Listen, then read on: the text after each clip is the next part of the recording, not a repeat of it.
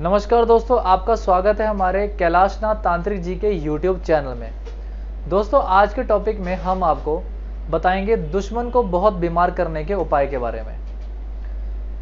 दोस्तों, क्या आपके दुश्मन ने आपको बहुत ज़्यादा परेशान किया हुआ है? क्या वह आपके काम में बाधा डालने की तरह तरह की कोशिशें करता रहता है, जिससे कि आपका कोई भी काम नहीं बन पा रहा? दोस्तों, तरक्की के रास्ते में बाधाएँ तो होती हैं, लेकिन इस बाधा को दूर नहीं किया गया।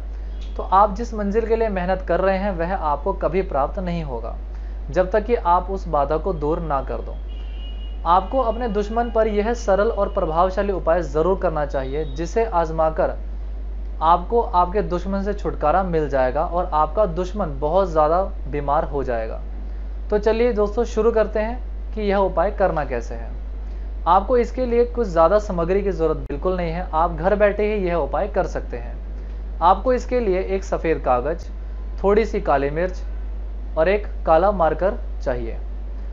दोस्तों, यह उपाय आप शनिवार के दिन शुरू कर सकते हैं। आपको सबसे पहले अपने घर में एकांत स्थान पे जाकर बैठ जाना है और फिर इस पे अपने दुश्मन का नाम लिखना है।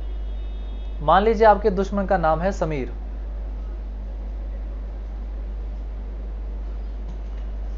इस तरीके से आपको अपने दुश्मन का नाम लिखना है और यहाँ पे कांटे का निशान बनाना है। कुछ इस तरीके से। दोस्तों, उसके बाद आपको इसमें थोड़ी सी यह काली मिर्च रख लेनी है। कुछ इस तरीके से। यह देखिए दोस्तों, इस तरीके से आपको यह समीर और थोड़ी सी काली मिर्च रख लेनी है। उसके बाद आपको इस मंत्र का उच्चारण 11 बार करना है।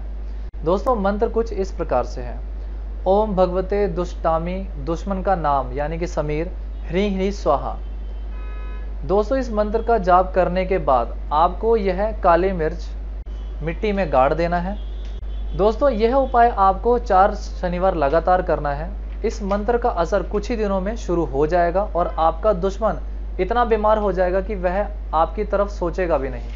आपको परेशान करने की बात तो दूर, वह खुद में इतना व्यस्त हो जाएगा कि वह आपको बर्बाद करने के बारे में नहीं सोचेगा।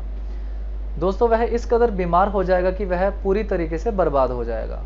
दोस्तों, अगर यह उपाय आप नहीं करना चाहते या फिर कोई दिक्कत या परेशानी आ रही है, यह उपाय आप हमारे कैलाशनाथ तांत्रिक जी के द्वारा करवाना चाहते हैं तो आपको स्क्रीन पे दिए गए नंबर पे कॉल करके हमारे कैलाशनाथ तांत्रिक से संपर्क करें।